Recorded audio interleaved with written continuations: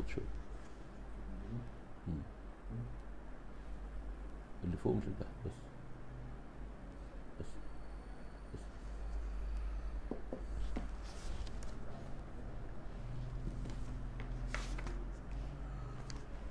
الحمد لله نحمده ونستعينه ونستغفره ونعوذ بالله من شرور أنفسنا ومن سيئات أعمالنا.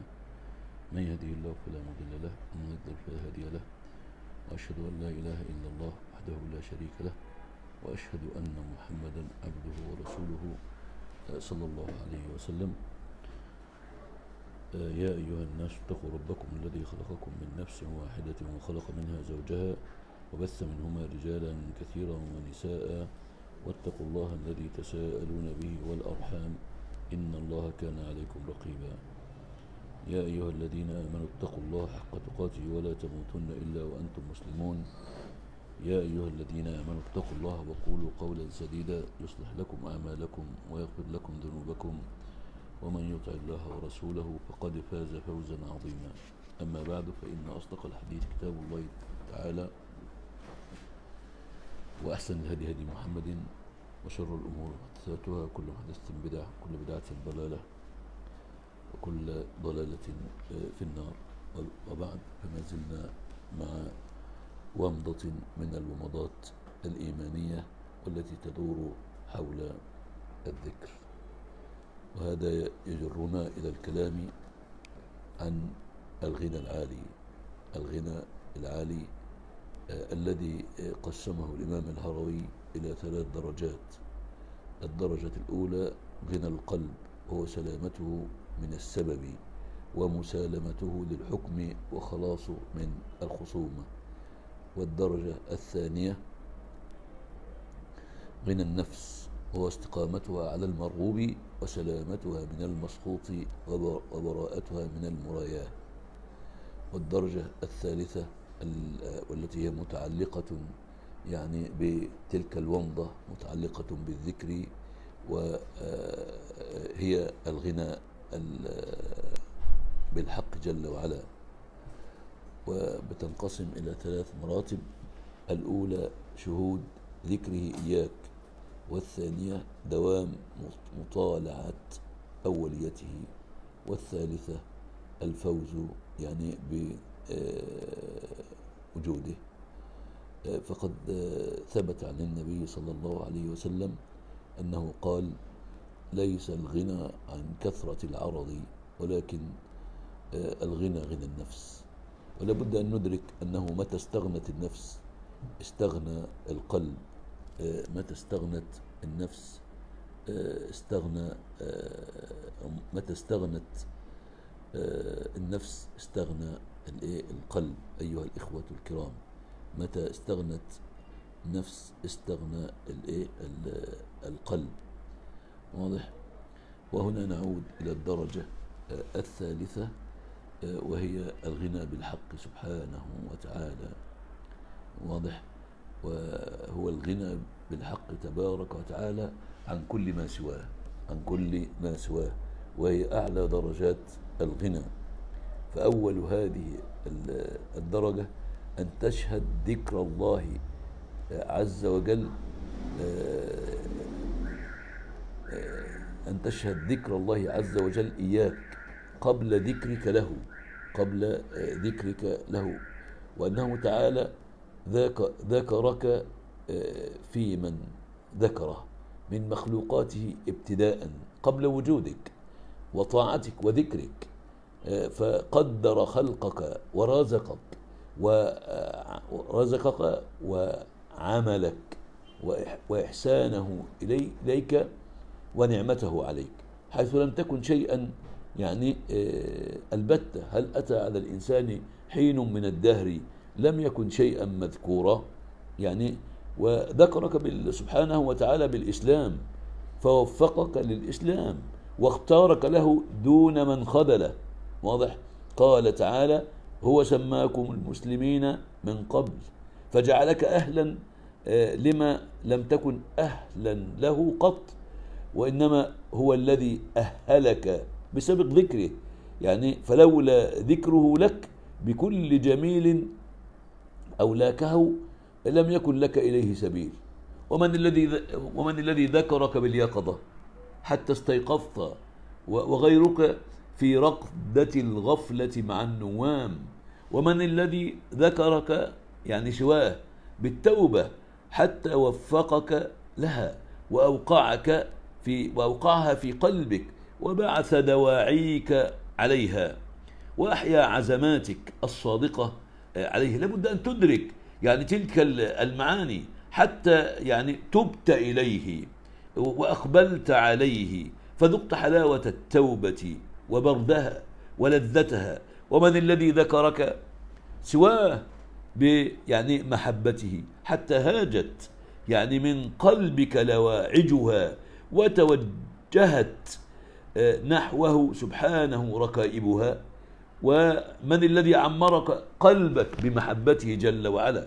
بعد طول خراب وآنسك بقربه بعد طول الوحشة والاغتراب. لابد أن تدرك ذلك. يعني عندما نتكلم عن ال- ال- الذكر وهذه ومضة أو ومضات إيمانية متعلقة بتوحيد الألوهية وتوحيد الربوبية مما لا شك فيه. أو توحيد الربوبية بداية وتوحيد ال- ال- الألوهية حيث أن توحيد الربوبية باب إلى توحيد الألوهية. ومن تقرب إليك أولا؟ حتى تقربت إليه. ثم أثابك على هذا التقرب. ثم أثابك على هذا التقرب تقربا آخر. من تقرب إلي شبر تقربت إليه ذراع. فصار التقرب منك محفوفا بتقربين. منه تعالى. لابد أن تدرك ذلك. تقرب قبله وتقرب بعده. والحب منك محفوف بحبين آه، منه جل وعلا حب قبله وحب بعده والذكر منك محفوف بذكرين ذكر قبله ويعني آه، وذكر آه، بعده. فلولا سابق ذكر الله عز وجل إياك لم يكن لم يكن من ذلك كله شيء يعني واضح. ولا وصل إلى قلبك ذرة مما وصل إليه من معرفته وتوحيده ومحبته وخوفه ورجائه والتوكل عليه والإنابة إليه والتقرب إليه. فهذه أيها الإخوة الكرام كلها آثار ذكره لك. واضح؟ ثم إنه سبحانه وتعالى ذكر ذكرك بنعمه المترادفة المتواصلة بعدد الأنفاس. فله عليك في كل طرفة عين ونفس يعني نعم عديدة يعني آه، ذكرك بها قبل وجودك وتعرف بها يعني إليك آه، يعني آه، قبل وجودك يعني هو الذي يعني ذكرك بالإسلام يعني سبحانه ذكرك بالإسلام فوفقك إلى الإسلام واختارك له لهذا الدين دون من خذله جل وعلا. هو سماكم المسلمين من قبل. واضح؟ فجعلك أهلا. يعني لما لم تكن أهل أهلا له قط وإنما هو الذي أهلك بسبب ذكره. فلولا ذكره لك يعني بكل جميل أولاكه لم يكن لك إليه سبيل. لابد يعني آه، لابد أن تدرك ذلك. ثم إنه سبحانه ذكرك بنعمه المترادفة المتواصلة بعدد الأنفاس وإن تعدوا نعمة الله آه، لا تحصوه فله عليك في كل طرفة عين ونفس آه، نعم عديدة ذكرك بها قبل وجودك وتعرف بها إليك هل أدركت ذلك؟ هل عشت هذه المعاني؟ هل عشت هذه المعاني؟ هل تأملت ذلك؟ هل تدبرته؟ هل تبصرته؟ هل اعتبرته؟ أم أن المسألة وكأنها حقوق مكتسبة؟ حقوق لابد أن تأخذها. لا والله إنها نعم متوالية آه، مت- متعددة مت- مترادف مترادفة. وإنما يعني هو فعل بك ذلك يعني بتلك النعم وتحبب إليك وتعرف بها إليك. يعني مع غناه التام مع غناه التام عنك وعن كل شيء. يعني مع غناه التام هذه لابد أن تدرك. و و و ولا بد أن تدرك أن, أن تعرف من أنت ومن ربك حتى تعرف أن الله عز وجل غني بذاته وأنت فقير بذاته. هذا هو الغنى العالي والفقر الاختياري الذي لابد أن تعيشه. آه، حياة حقيقية. وإنما ذلك أيها الإخوة الكرام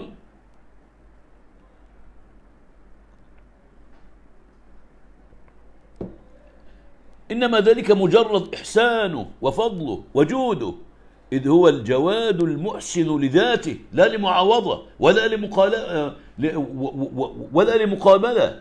يعني لماذا أنت فعلت فهو يفعل؟ لا هذا تمام كامل فضل الله عز وجل لأنه هو محسن لذاته لا لمعاوضة ولا لطلب جزاء منك ولا لحاجة دعته إلى ذلك. لابد أن تعيد تلك القصة كيف هو الغني الحميد؟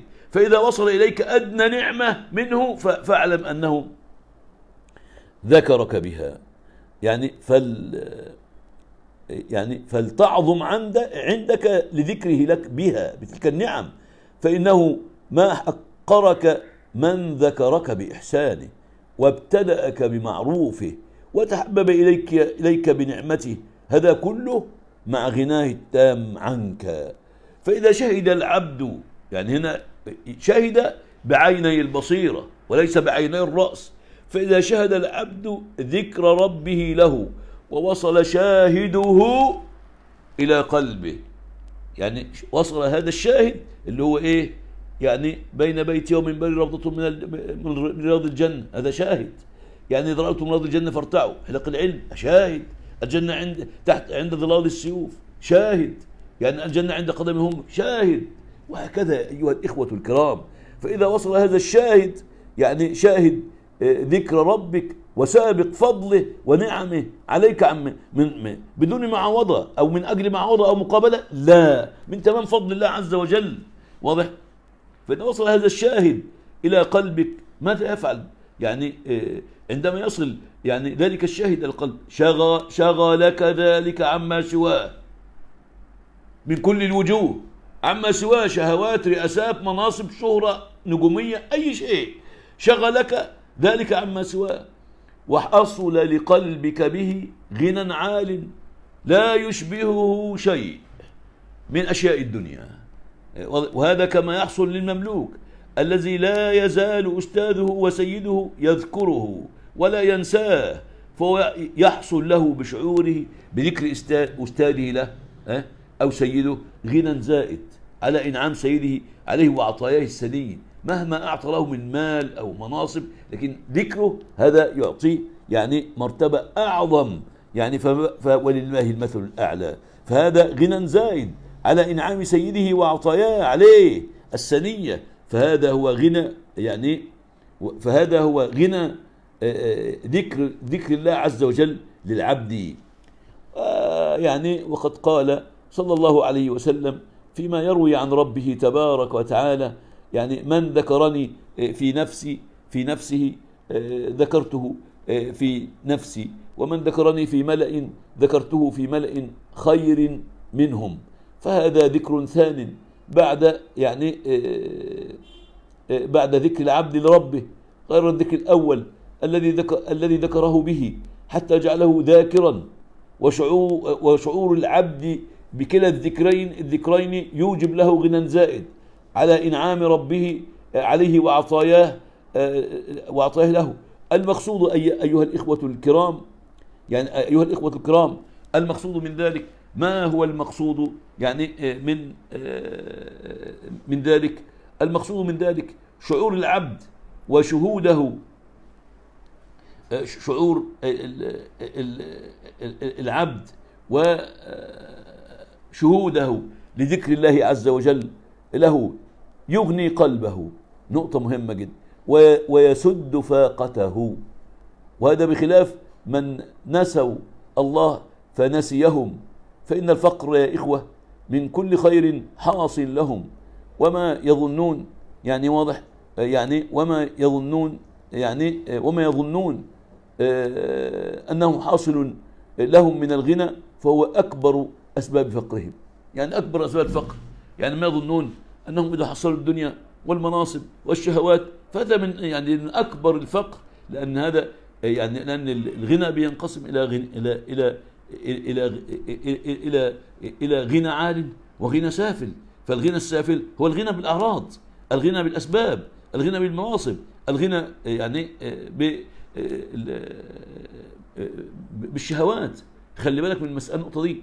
فلو عدنا إلى الفقر والغنى فالإمام يتكلم عن ال- أن الفقر ينقسم إلى فقران إلى فقران والغنى ينقسم إلى غنان فالفقر فقر اختياري وفقر اضطراري والفقر الاختياري يا إخوة الخلاص من رؤية الملكة ولم يكن الخلا- الخلاص من الملكة.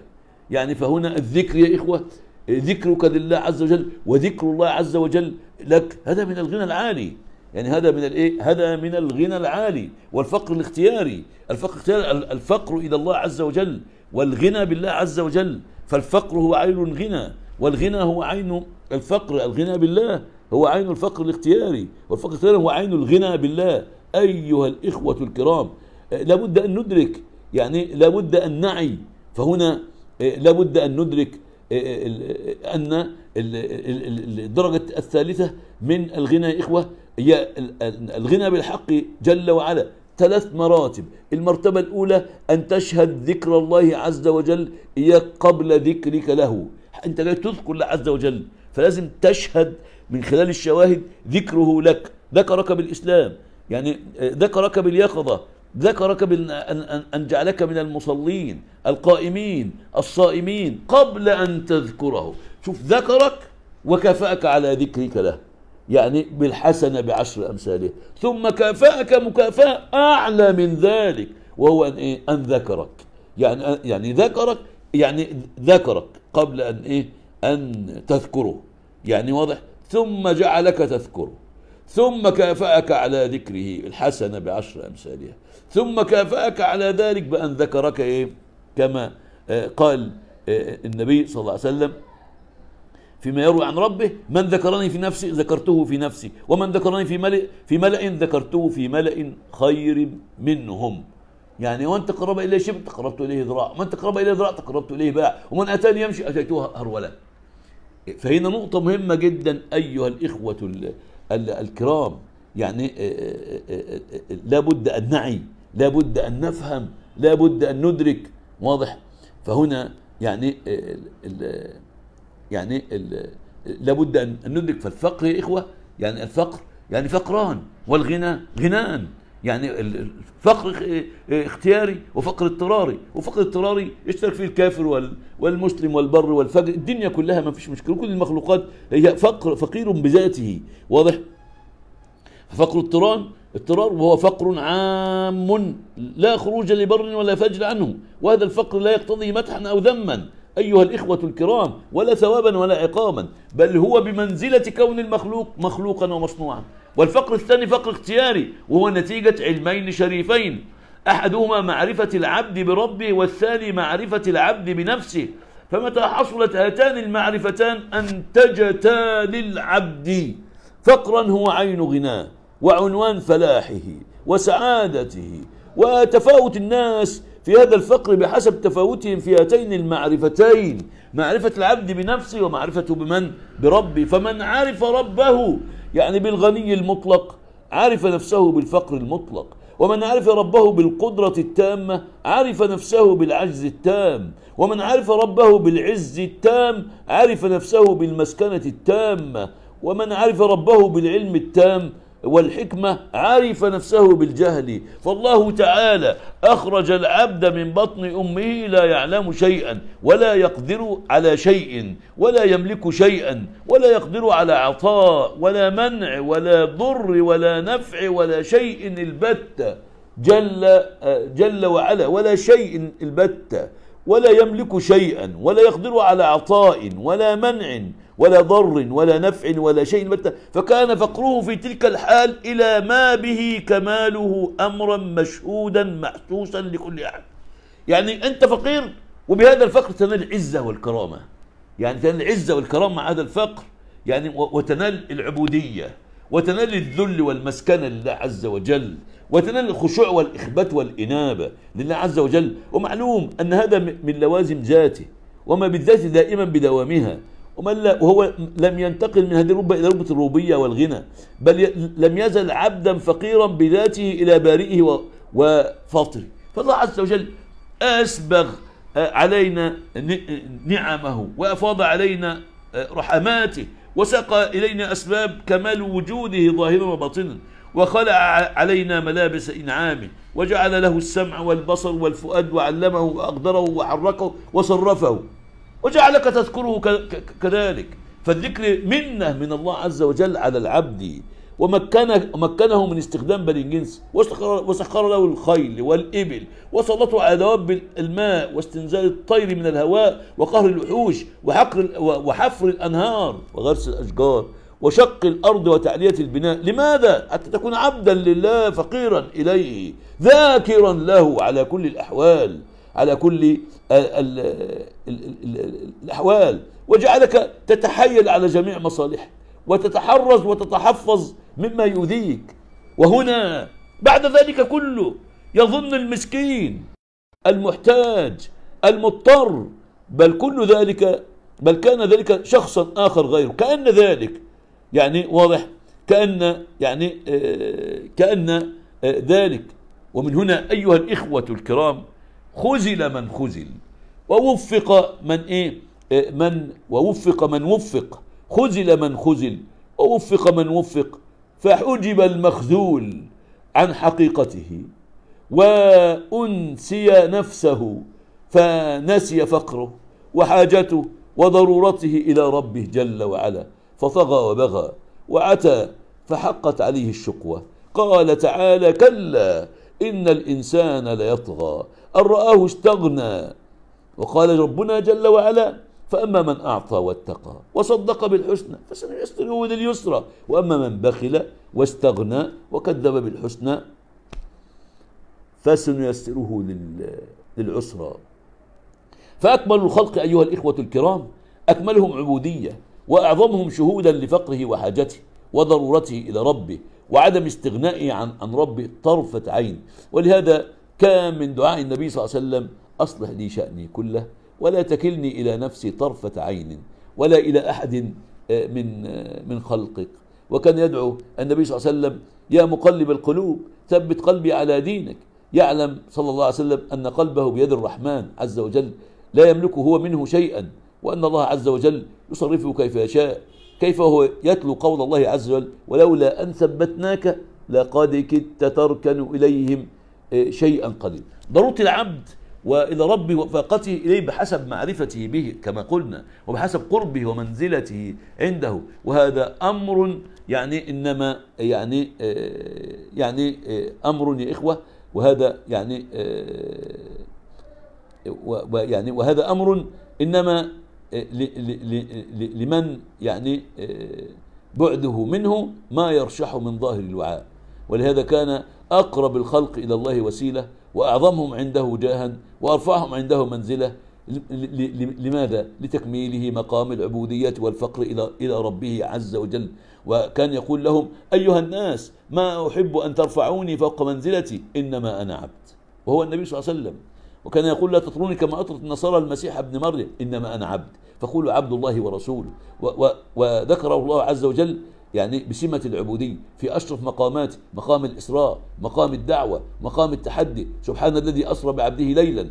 وقال إنه لما قام عبد الله يدعوه وإن كنت في, في, في رب مما نزلنا على عبدنا. دي نقطة مهمة جدا. ده كله عايزين نوصل إيه؟ إن ذكرك لله عز وجل من الله عز وجل. وليس من نفسك وليس من قوتك وليس من ذكائك وليس من فطنتك وليس من من فهمك وإدراكك. تأمل. لا تأمل. قول الله عز وجل أنتم الفقراء إلى الله. أنتم الفقراء إلى الله جل وعلا. إلى الله. فعلق الفقر إليه باسم إيه؟ باسم الله دون اسم الربوبية. ليؤذن بنوعي الإيه؟ الفقر. فإنه كما تقدم فقر إلى ربوبيته وفقر المخلوقات بأسرها وفقر إلى, إلى إلهيته وفقر أنبيائه ورسله وعباد الصالحين. وهذا هو الفقر النافع. والذي يشير إليه القوم ويتكلمون عليه ويشبرون إليه هو الفقر الخاص لا العام وقد اختلفت عبارتهم يعني في يعني آه، ووصفهم. وكل أخبر عنه بقدر ذوقه وقدرته على التعبير. لابد أن ندرك أيها الإخوة الكرام يعني حتى نستطيع أن ندرك من نحن ومن ربنا حتى نتمكن من السير إلى الله عز وجل. ونحن قد خرجنا من أنفسنا بالكلية يعني وقلنا لا حول ولا قوة إلا بالله. يعني فخرجنا من حول من حولنا ومن قوتنا إلى حول الله وقوته فكل يعني فضل منك ليس منك وكل خير منك ليس منك إنما هو من إيه؟ من الله عز وجل هو الأول والآخر والظاهر والباطن. أقول